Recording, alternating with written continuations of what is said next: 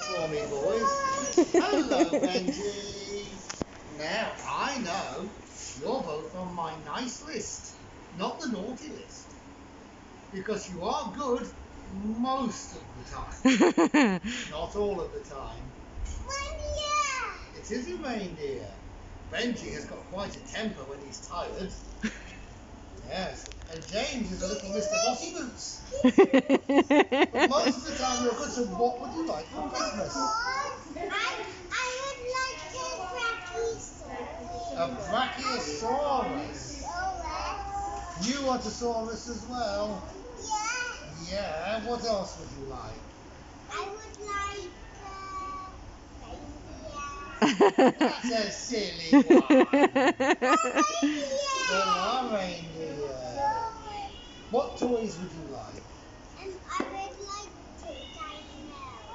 Two giant elves. two, di- This one if you like. two dinos, did you say?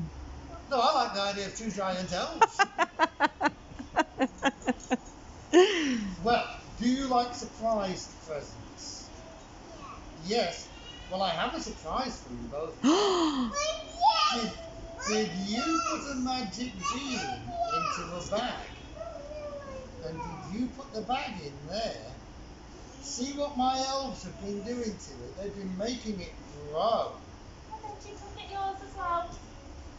What did it grow into? what?